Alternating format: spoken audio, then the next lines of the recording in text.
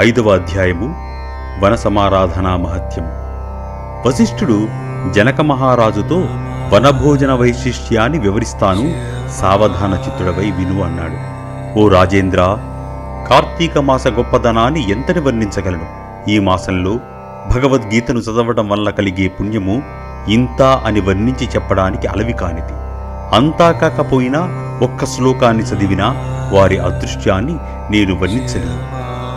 ఆ విధంగా గీతను చదివిన వారు శ్రీమన్నారాయణుని కృపకు పాత్రులై తరిస్తారనడంలో ఎంతమాత్రం సందేహమే లేదు. అలా చదివిన వారి యొక్క పూర్వజన్మల పాపాలన్నీ నశిస్తాయి. ఈ మాసంలో వనభోజనానికి అత్యంత ప్రాధాన్యం ఉంది. వనభోజనం వల్ల విష్ణులోకం లభిస్తుంది. చెట్లు తీగలు మొక్కలు గల వనంలో ఉసిరి చెట్టు మొదట్లో సాలగ్రామాన్ని పెట్టి విష్ణువును ప్రార్థించి శాస్త్ర ప్రకారంగా దక్షిణ తాంబూలాలను ఇచ్చి పూర్ణ కుంభాన్ని నివేదన చేసి బంధుమిత్ర సపరవార స్నేహితులతో కలిసి పంక్తి భోజనం చేసేవారి జన్మ ధన్యమే. వనసమారాధనలో భోజనం చేసిన వారిని సమస్త పాపాల నుండి విముక్తులను చేసి దివ్యత్వాన్ని ప్రసాదిస్తుంది. యహ కార్తీకేసితే వనభోజనమాచరేత్ సయాతి వైష్ణవం ధామ సర్వపాపై ప్రముచ్యతే. కార్తీక మాస శుక్లపక్షంలో వనభోజనం చేసిన వారు పాప విముక్తులై విష్ణుధామాన్ని పొందుతారు. పూర్వం ఒక బ్రాహ్మణుని కుమారుడు దూరాచార సంపన్నుడైనందువలన తండ్రిచే శపించబడ్డాడు.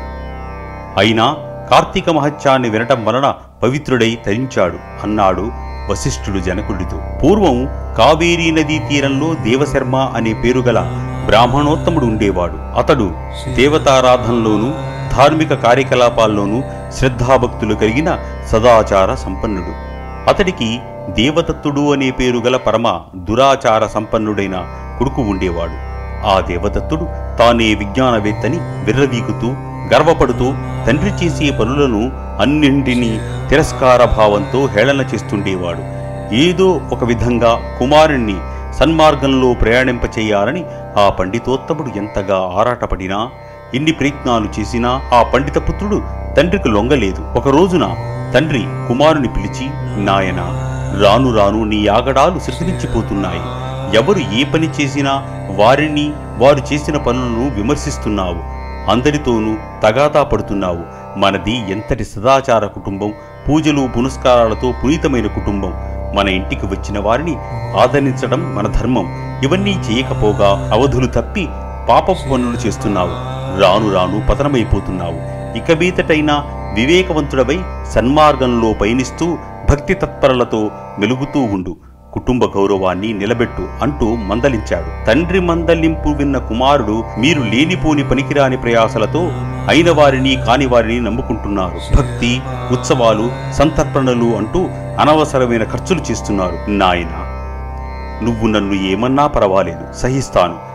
పది మందిలో మంచి పేరు తెచ్చుకునే పనులు చెయ్యి పూజలు పునస్కారాలు పరజీవనాన్ని కాపాడతాయి. ఇది పరమ పవిత్రమైన కార్తీక మాసం.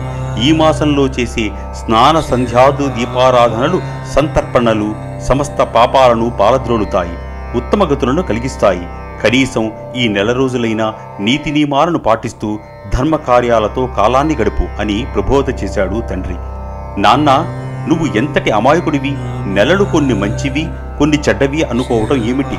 గుళ్ళో దీపాలు వెలిగిస్తే పుణ్యం వస్తుందేమో. కానీ అవే దీపాలు ఇంట్లో వెలిగించుకుంటే వెలుతురు వస్తుంది. ఇంటి నిండా వనభోజనాల పేరుతో అయిన వాళ్ళకి కాని వాళ్ళకి పట్టడం కన్నా మన చుట్టాలకి బంధువులకి మిత్రులకి కనుక వండి వడ్డిస్తే వాళ్ళు తృప్తి పడతారు అంటూ అనేక విధాలుగా తండ్రిని దుర్భాషలాడాడు.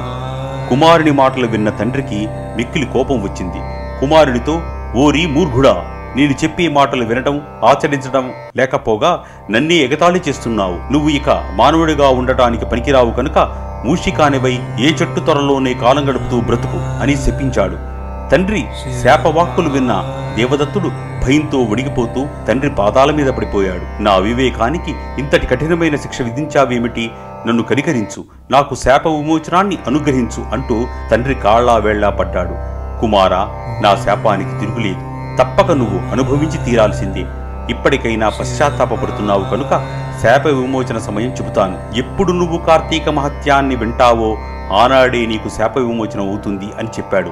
శాప విమోచన విషయం విన్న వెంటనే దేవదత్తుడు ఎలుకగా మారిపోయి కావేరీ నదీ తీరాన గల గజారణ్యంలో ఒక మర్రి చెట్టు త్వరలో నివసిస్తున్నాడు. కొంతకాలం గడిచాక విశ్వామిత్ర మహర్షి శిష్య సమేతుడై వనభోజనం కారణంగా గజారణ్యానికి వచ్చాడు. కార్తీక మాస స్నానం చేసి చెట్టు కింద శ్రీమన్నారాయణ్ణి ఆరాధించి తన శిష్యులకు కార్తీక పురాణాన్ని వినిపిస్తున్నాడు.